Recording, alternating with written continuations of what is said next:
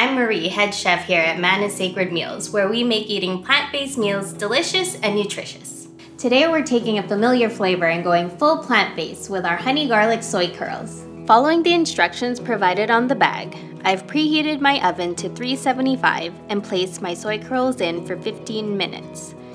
I've brought 3 liters of water to a boil, reduced to a simmer, and submerged my bag of quinoa cauliflower rice in for 8 minutes.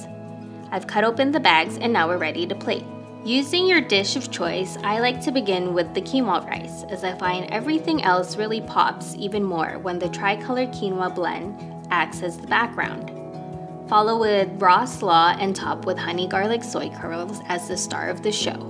Sprinkle additional sesame seeds for that added nutrient. And there you have it, our honey garlic soy curls on garlic quinoa cauliflower rice with raw sesame slaw. Soy curls are made from non-GMO whole soybeans without chemical pesticides, preservatives, or additives.